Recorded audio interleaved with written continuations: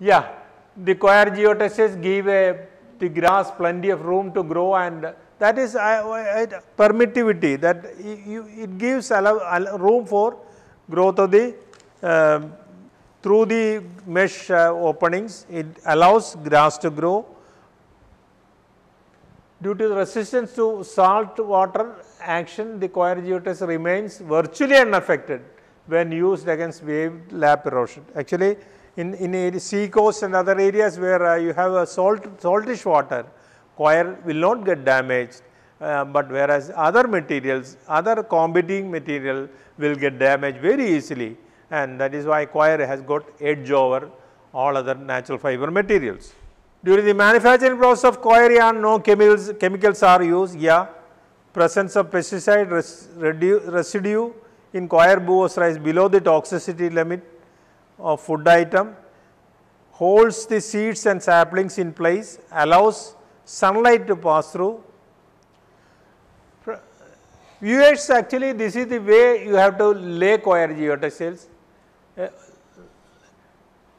from the top to bottom you have to unroll it like this and each uh, roll should be next roll should be overlapping over this uh, at least 15 centimeters and you have to uh, fix it properly uh, using a J clip or a U clip or a even locally available wooden planks, wooden, wooden bars. I think you need not make any, any, any search for it locally available, whatever material is available, you can use it for fixing. Actually, there should not, you should not allow any space between the uh, contour surface and also the geotextile. It should be as close as uh, to the contour and as wrappable as close to the contour. Some uh, pictures where you have done the coir geotextiles and uh, this is how we have cultivated on uh, slopes.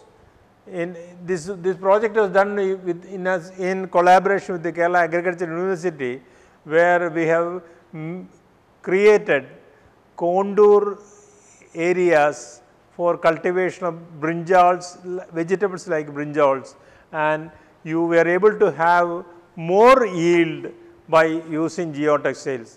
Why? Because the, the geotextiles retain the moisture for some more time and allowed small uh, release of moisture in a little bit way so that it always get the required quantity of water for its sustenance. Moreover, normally they, they, they make uh, contour bundings in uh, slopes for cultivation and lot of space will be lost for uh, making contour bunding. But here this straight, straight away you can uh, cultivate vegetables on the slopes without any making any contour bunding and that gives an added advantage and extra space for uh, cultivation and that is why you get more yield not only because of the higher uh, yield you are getting from the plants, but a higher area of uh, cultivation you are able to get. Anchoring, you have to take a small trench, 1 feet deep trench on the top of the um, um, what do you call slope and, and also in the bottom of the slope.